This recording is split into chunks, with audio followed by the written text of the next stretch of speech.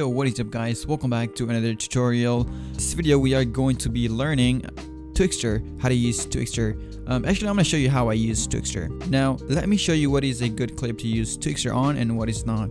So right here you guys can see this is a very good clip to use Twixtor because there are not so much stuff going on behind our um, main character which is Naruto. So if you guys look uh, in the background right here you guys could see like there's literally no movement. There's nothing going on. Now if you look here this is a i think pretty bad clip to use twixtor because let me just play the video for you. So there are too many things going on in this four second clip. As you guys could see i'm gonna slow down right now. Look at this. The background is moving crazy and the fight is going crazy. I don't know. And also this is another clip which is really bad to use Twixtor on because you guys could see it. Come on. The whole screen is shaking. By the way, before we get into this, um, let me play the video for you guys.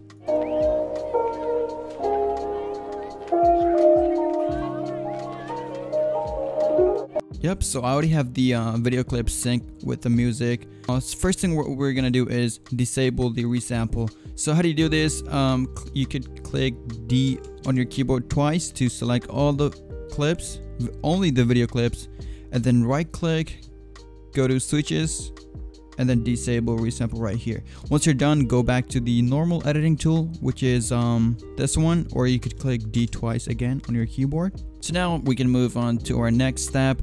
We're gonna go find, uh, go to video effects, which is right here, and then find Twixtor. It should be at the bottom somewhere here. We're just gonna use uh, Pro right click on the uh, video clip and then go to properties now where it says playback rate.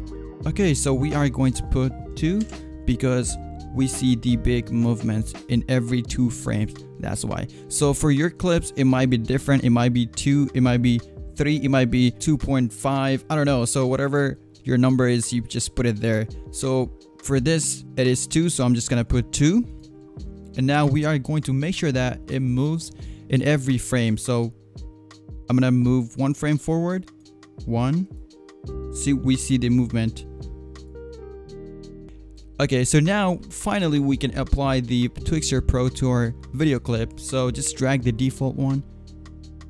Do not worry about these because they are mine uh, preset. So first one we're gonna start with um, BG motion.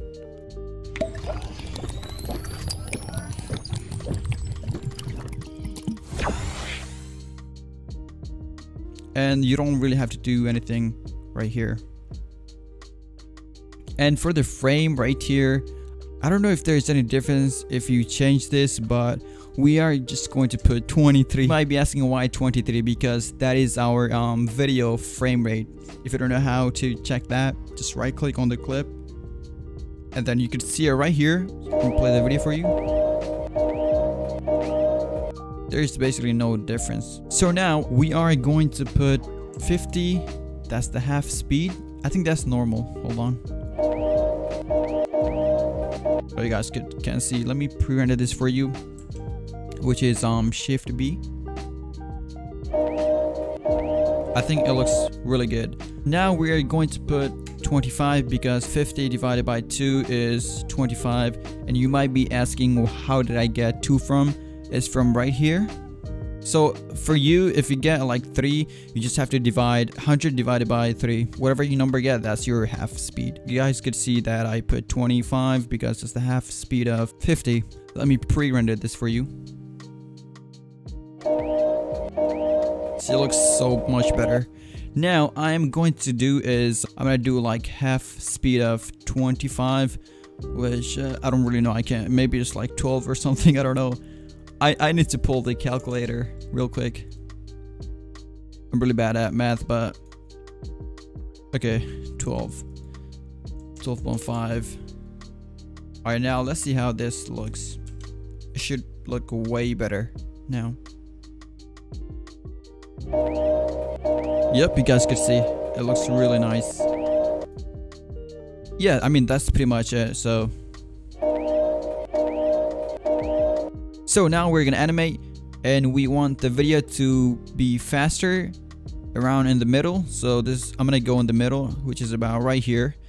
And if your this thing is not moving just make sure you have this locked. So uh, right now you guys can see I'm in the middle of the clip and I am going to put 25 actually you know I'm gonna put 50 and then I'm gonna go at the end of the clip and put 25 so for these keyframes I think you just have to put um, half half speed of this. I don't know you just put half speed. That should work. It should look way better. As you guys can see it looks really good but um there's this weird glitch. I don't know um, Sony Vegas has this weird glitch if you ever come across this um, glitch just move your keyframe backward one frame backward or um, forward that should fix it if it doesn't we'll try something else Oh dang, there's still um still the the glitch. Let me move it to oh what the heck? I just clicked something else. wow, what the?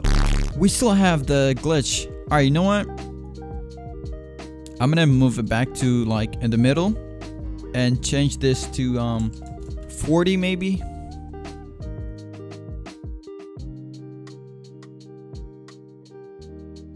Hopefully that works. Yep. So, I mean, it's working. I mean, so we're done with the first clip, so I don't know. That looks really good, I think. I think this one is going to be really good. So again, uh, I'm just gonna put three and then make sure that it is moving in every frame. Yeah, it does. So drag the default. By the way, you could save this settings. Uh, just come here and rename it. Save it. And then click this save preset. And then you should find it over here. Uh, let me try something different this time. Uh, over here, I'm probably gonna put like I, I forgot what's the half of um 33. Hold on. I need to check real quick. Oops, 16. Going to pre-render this and see how it looks.